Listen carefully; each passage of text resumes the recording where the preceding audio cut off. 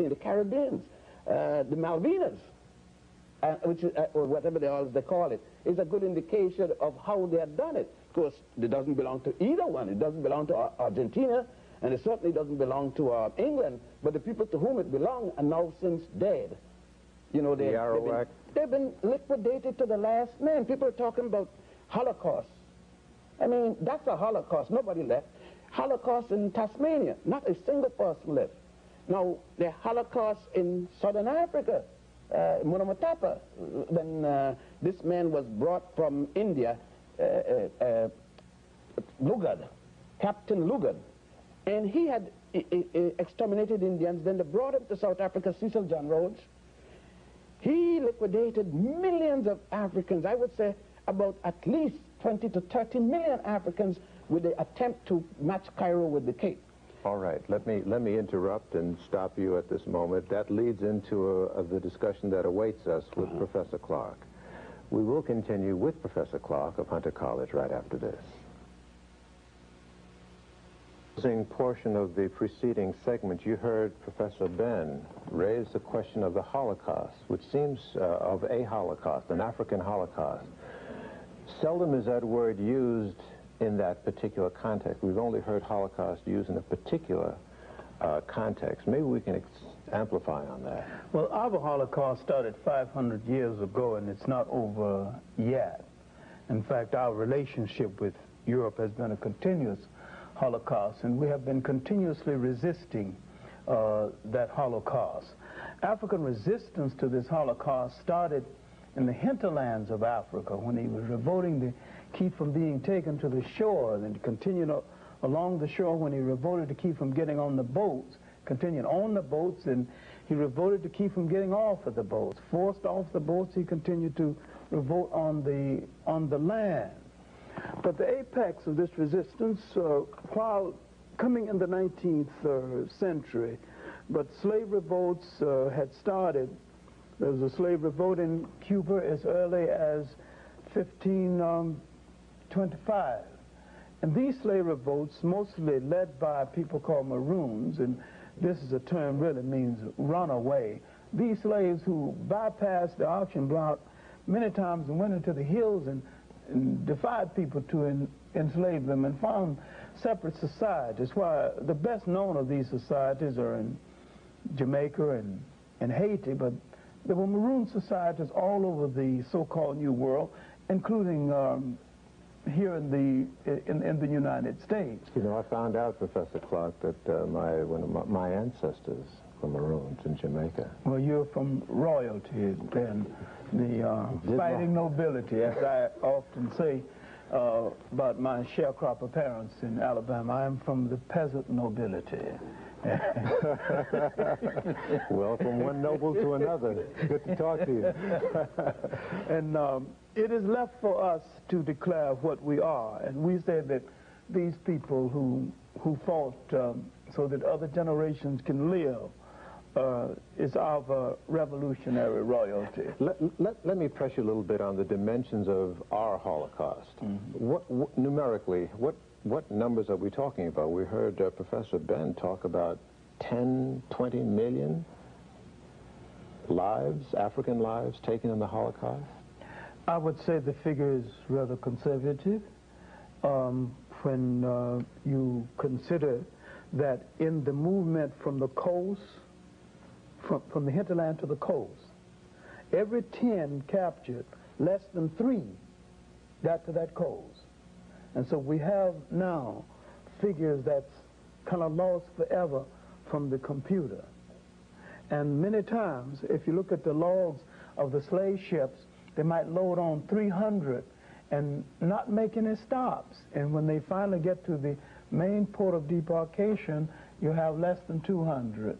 So that's all, that so many went overboard, so many died of suffocation.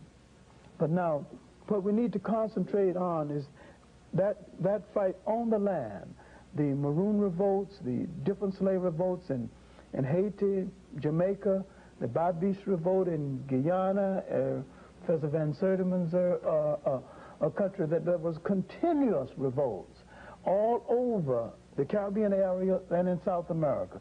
And in South America, they not only large numbers of Africans bypassed the slave, bypassed the auction block, went into the hinterlands and found separate nations, Os Palmares and uh, and um, and uh, Bahia. These are separate African nations uh, carved out in Brazil itself. And now these revolts in the Caribbeans would stimulate uh, black revolt here in, in the United States. But when we look at the 19th century, we have to look at the whole of the African world in revolt. The Africans in Africa, them, in, Africa began uh, a series of wars that would last over 100 years. The Ashanti Wars, the Asante Wars, and what is now Ghana started in 1805. The last war was fought in 1901, led by a great African woman warrior, Yaa Asantewaa. The Zulu Wars would last far more than that. The wars against the uh, coming of the Europeans started in 1652 when the Europeans arrived. The last war in southern Africa was 1906. In between our, uh, our breaks, uh, you were mentioning, um, in the dimension of the Holocaust, the experience of a particular group. Oh, I was talking about the Herero War in what is now Namibia, then formerly called Southwest Africa. The Germans tried to create a bastard race in this area by cohabiting with the Herero women.